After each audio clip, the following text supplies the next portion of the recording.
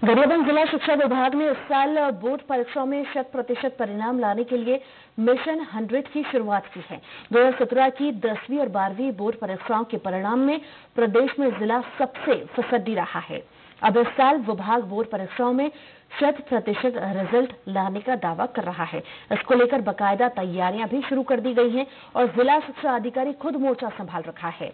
2018 में मिशन साठ और 2019 में मिशन पचहत्तर चलाया था। इसमें काफ़ी हद तक सफलता मिलने से उत्साहित होकर इस साल उन्होंने मिशन हंड्रेड को अपना लक्ष्य बनाया है। छात्रों को लक्ष्य निर्धारित करके पढ़ाई करने के टिप्स दिए जा रहे हैं।